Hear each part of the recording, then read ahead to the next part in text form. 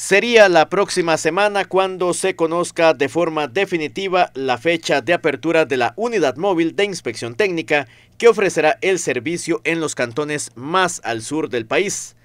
La búsqueda de terrenos para la instalación fue uno de los grandes retos. Hemos trabajado en poner a punto tres estaciones móviles por parte de DECRA, ¿verdad?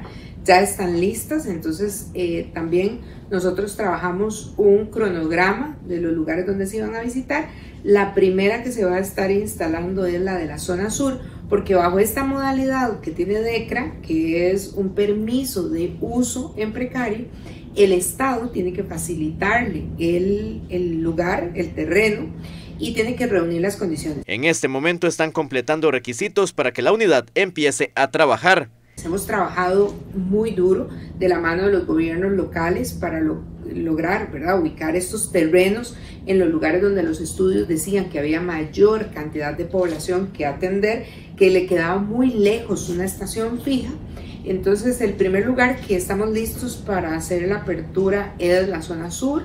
Esperemos que la próxima semana eh, ya podamos eh, tener confirmada la, fecha. Eh, en el transcurso de la próxima semana esperamos completar los requisitos de permisos y otras formalidades para estar dando la apertura de la estación. Esta estación móvil del sur será la primera que entre a laborar bajo el servicio de DECRA. Eh, la municipalidad ha sido un gran aliado, entonces estamos finiquitando con ellos en los temas de permisos y demás que tiene que sacar DECRA, pero esa en el transcurso de la próxima semana esperemos esté funcionando. Luego de que terminemos, los equipos técnicos se van a abocar en el tema de Tarrazú, que también la comunidad ya ha facilitado un terreno y nada más necesitamos ponerlo a punto y terminar con las capacitaciones y otras cosas de DECRA y ese sería el segundo lugar que estuviéramos abriendo.